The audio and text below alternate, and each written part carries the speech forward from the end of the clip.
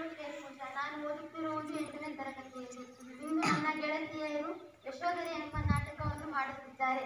ಆ ನಾಟಕದಲ್ಲಿ ಪಾತ್ರಗಳೆಂದರೆ ಯಶೋಧರೆಯ ಪಾತ್ರ ಡಿ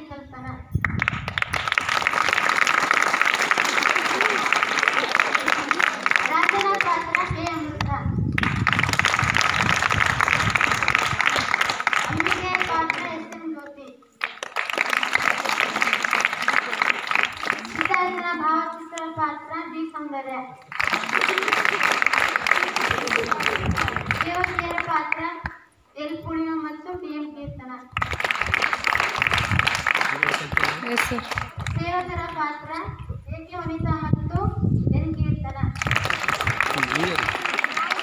ಸ್ವಲ್ಪ ಈ ಕಡೆ ಸರ್ ಟೈಮ್ ಈ ಕಡೆ ಈ ಕಡೆ ಕರೆಕ್ಟ್ ಆಗುತ್ತೆ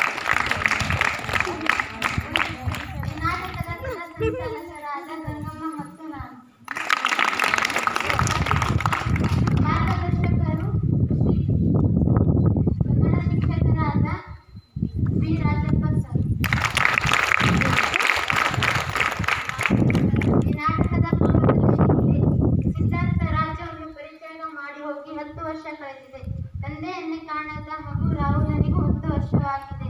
ಇತ್ತ ಕಪಿಲ ವಸ್ತುವಿನ ಅರಮನೆಯ ಅಂತಃಪುರದಲ್ಲಿ ಯಶ್ವರಲ್ಲಿ ಹುಬ್ಬಳ್ಳಿ ಚಿತ್ತ ಮಕ್ಕಳಾಗಿ ಸಿದ್ಧಾರ್ಥನ ಪಟ್ಟವನ್ನು ನೋಡುತ್ತಾ ಕಣ್ಣೀರಿಡುತ್ತಾ ಕುಳಿತಿರುತ್ತಾರೆ ದುಃಖಿಸಲು ಕಾರಣವನ್ನು ಆಕೆ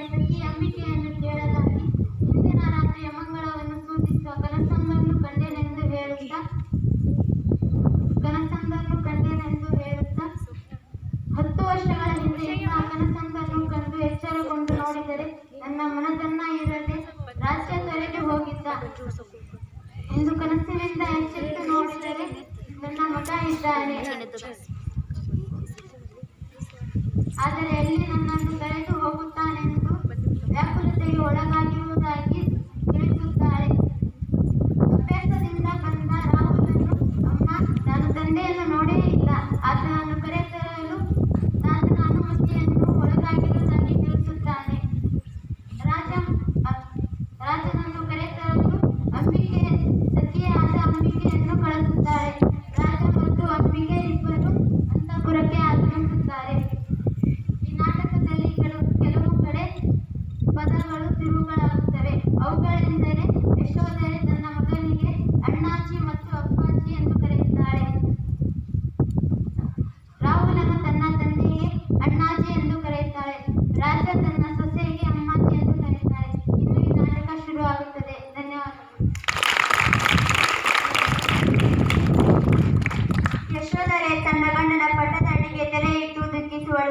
ರಾಹುಲನು ಹೂಗಳನ್ನು ತೆಗೆದು ಪೀಠದ ಮೇಲೆ ಹಾಕುವನು. ತಾಯಿ ಹೆರಳಿಗೆ ಒಂದು ಹೂವನಿಟ್ಟು ಸೊಗಸು ನೋಡುವನು. ಅದೇ ವೇಳೆಗೆ ರಾಜನು ಅಂಬಿಕೆಯು ಬರುವರು.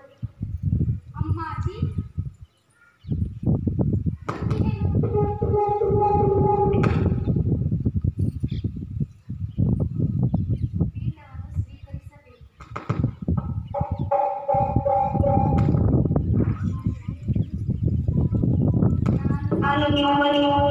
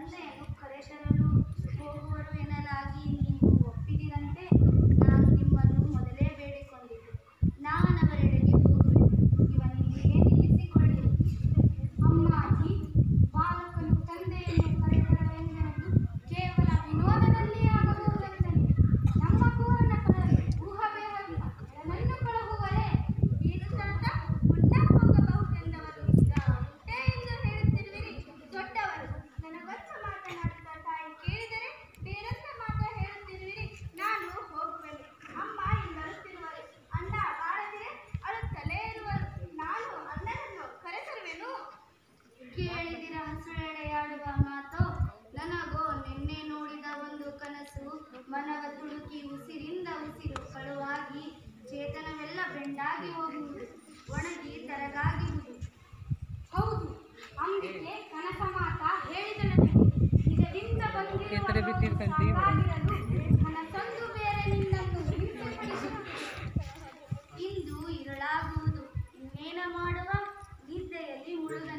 ಕನಸಿನ ಮೊಸಳೆ ಒಮ್ಮೆ ಹಿಡಿಯುತ್ತೋ?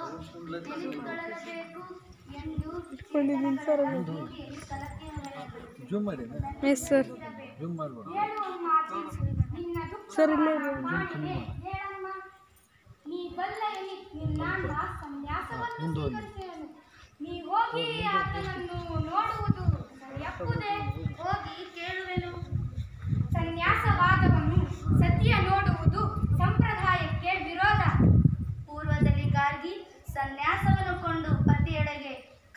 ಕಾನನಕ್ಕೆ ತೆರಳಿದಳು ಎಂದು ಕೇಳಿದೆನು. ನಾನಂತೆಯೇ ಸನ್ಯಾಸವನ್ನು ಕೊಂಡು ಪತಿಯಡೆಗೆ ಸಾರಿದರೆ, ಈಗ ನೀನಿ ಹರಿತಿ, ಸನ್ಯಾಸವಲ್ಲವೇ? ಆಣ್ಮ ಸನ್ಯಾಸಿಯಾಗಿದ್ದರೆಂಬುದು ನೆನೆವ ಸಾಧನೆಯ ವೇಷವಿದು. ಇಂದು ನಿಜದಲ್ಲಿ ನಾನು ಸನ್ಯಾಸವನ್ನು ಕೊಂಡು ಪತಿಯೆಡೆಗೆ ಸಾರಿದರೆ, ಪತಿಯೆಡೆಗೆ ಸಾರುವವರೇ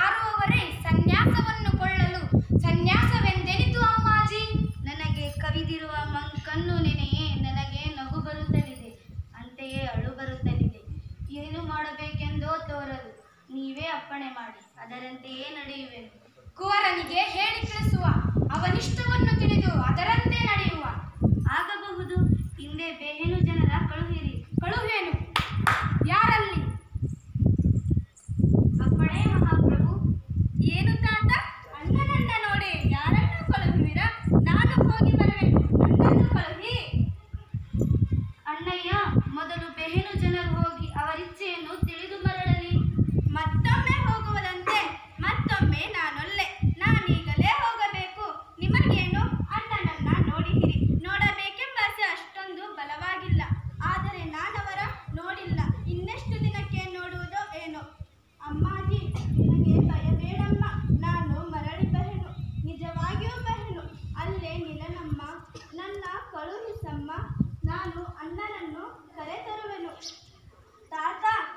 ನನ್ನನ್ನು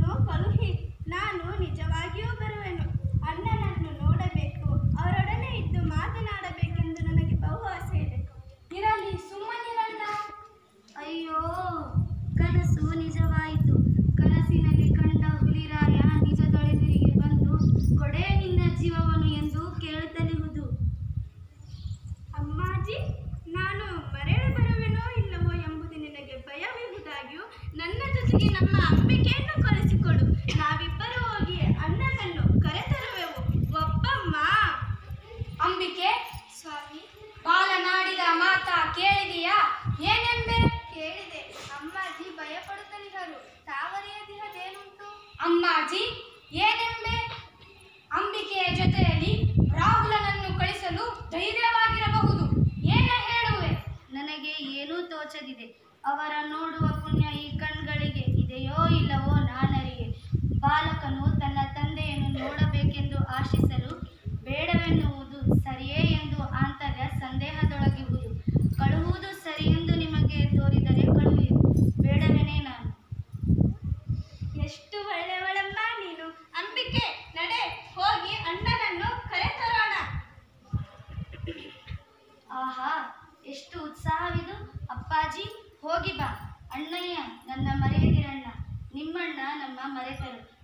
ಬಾಳೆಲ್ಲ ಬಯಲಾಯಿತು. ಅವರು ಬಿಟ್ಟಂತೆ ನೀನನ್ನ ಕೈ ಬಿಡಬೇಡ.